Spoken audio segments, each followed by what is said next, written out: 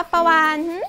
พี่กู๊ดครับปลาวันได้ยินเพื่อนที่โรงเรียนพูดถึงปลาตีนด้วย อันนี้ไม่ใช่ปลาแต่เป็นคำหยาบใช่ไหมครับ ไม่ใช่ครับปลาตีนเนี่ยเป็นปลาจริง ๆนะครับ แต่ว่าเราไม่สามารถหาดูได้ทั่วไปนะ ปลาตีนเนี่ยเขาจะอยู่เฉพาะในป่าชายเลนที่มีความอุดมสมบูรณ์เท่านั้น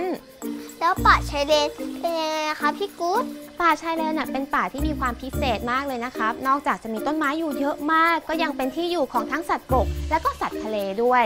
ปลาวานอยากรู้ไหมครับว่าป่าชายเลนเป็นยังไง ถ้าอยากรู้เดี๋ยวเราไปดูกันค่ะ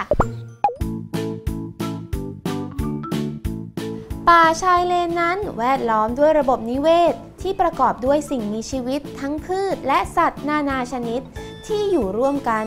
โดยมีความสัมพันธ์กันในเรื่องของอาหารจากพืชชนิดต่างๆ ที่ทับถมไปเป็นอาหารของแพลงต้น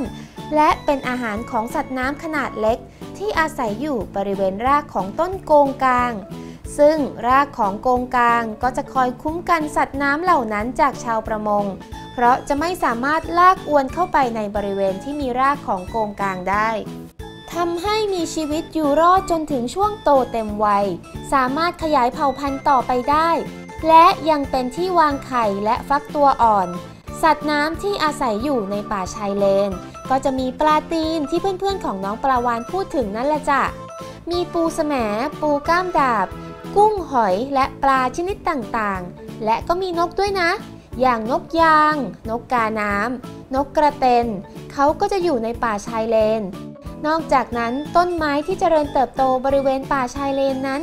ยังสามารถนำมาทำประโยชน์ให้กับเราได้มากมาย ไม่ว่าจะเป็นสรรพคุณทางยาที่สามารถช่วยบรรเทาอาการเจ็บป่วยต่างๆ ได้ ที่สำคัญก็คือสามารถช่วยรักษาชายฝั่ง จากการกัดเซาะของกระแสน้ำไม่ให้ชายฝั่งถูกกระแสน้ำพัดเอาหน้าดินจนชายฝั่งหายไป และยังช่วยคงความสมบูรณ์ของระบบนิเวศให้หมุนเวียนได้ต่อไป ป่าชายเลนจึงมีความสำคัญต่อความสมบูรณ์ทางธรรมชาติ ไม่น้อยไปกว่าป่าชนิดอื่น ๆ เลยจ้ะและวันนี้พี่กู๊ดก็ได้มาร่วมกิจกรรมดีๆ กับพี่ๆบริษัทผลิตไฟฟ้าจำกัดมหาชน หรือ Eco Group ที่มาร่วมกัน ปลูกป่าเฉลิมพระเกียรติ 60 พรรษา ถวายเป็นพระราชกุศลสมเด็จพระเทพรัตนราชสุดา สยามบรมราชกุมารี ที่อุทยานสิ่งแวดล้อมนานาชาติสิรินธรในพระบรมราชูปถัมภ์ที่นี่เป็นเสมือนพิพิธภัณฑ์ธรรมชาติที่มีชีวิต ที่ทุกคนสามารถมาเรียนรู้การฟื้นฟูป่าชายเลน ป่าชายหาด และป่าเบญจพรรณได้ค่ะ นอกจากนั้นยังเป็นที่อยู่ของสัตว์นานาชนิด ตลอดจนเป็นสถานที่ส่งเสริมการท่องเที่ยวเชิงนิเวศ และเชิงประวัติศาสตร์ที่มีคุณค่าของประเทศไทยอีกด้วย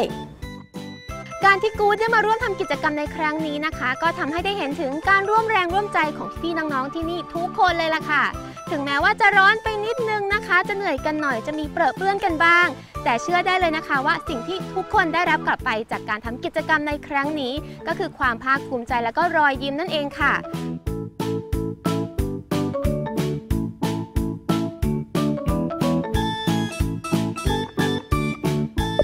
สำหรับใครที่สนใจมาร่วมทำกิจกรรมดีๆ แบบนี้บ้าง ก็สามารถติดต่อมาได้ที่อุทยานสิ่งแวดล้อมนานาชาติสิรินธรในพระบรมราชูปถัมภ์สมเด็จพระเทพรัตนราชสุดา สยามบรมราชกุมารี ได้ที่หมายเลขโทรศัพท์ 032-508-352ทุกวันในเวลา 8 นาฬิกาถึง 17 นาฬิกาค่ะ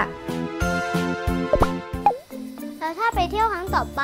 พี่กู๊ดพาปลาวันไปป่าชายเลน แล้วก็ดูปลาตินตัวจริงด้วยได้ไหมครับ ได้สิครับปาวานแต่ว่าต้องมีข้อแลกเปลี่ยนนะปาวานต้องสอบให้ได้คะแนนดีขึ้น โอเคไหมแล้วเดี๋ยวพี่พาไปแน่นอน จริงๆนะคะพี่กู๊ดจริงค่ะ เย้ปลาวันได้ไปแน่ๆเย้เอาจริงๆนะ